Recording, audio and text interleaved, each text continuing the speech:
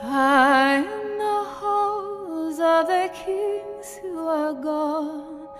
Jenny would dance with her ghosts, the ones she had lost and the ones she had found, and the ones who had loved her the most.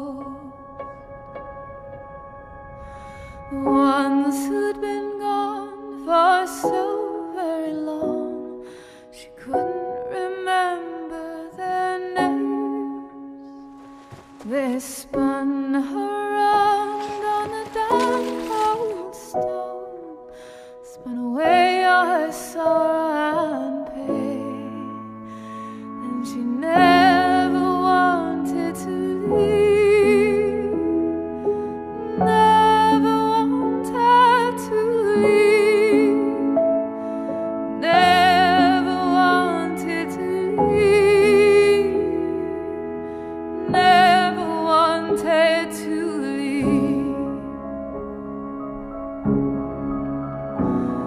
They dance through the day and into the night, through the snow that swept through the whole.